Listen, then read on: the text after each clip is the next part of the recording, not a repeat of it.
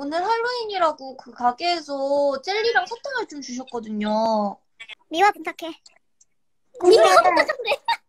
거기 하리보 하리보 곰돌이 젤리가 있었어요. 아주 먹음직스러웠죠. 열심히 먹고 있었죠.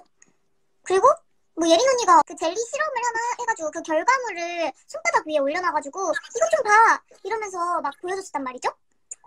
근데 유주가 갑자기 돌발 해- 행동을 했어요. 행동을 어떤 행동을 했냐면요. 유주가 갑자기 자기 입에 있던 그 젤리를 예린 언니 손에 뱉은 거죠. 예린 언니 손에 뱉은 거죠. 저는 깜짝 놀랐어요. 그 굉장히 그 젤리가 굉장히 그 투명하고 아름다운 색깔이었어요. 그래가지고 언니 미화해줘야지. 아 투명하고 미워하지 아름다운 마. 색깔이라고 투명하고 지금 아름다운 예쁘게 색깔이- 말하고 있잖아. 아, 근데 던졌죠? 네, 우리 모두가 되게 아 아름답다.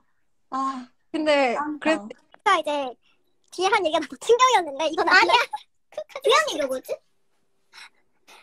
나한테 좀 얘기해봐. 내가 예은 언니한테 응. 언니 근데 진짜 솔직하게 얘기해도 돼요? 그래서 언니가 뭐이 녀석아 해가지고 나 그거 언니가 먹어줄 줄 알았어.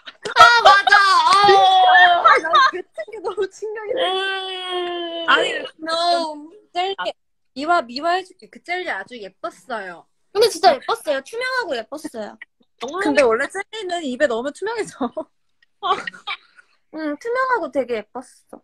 고마워.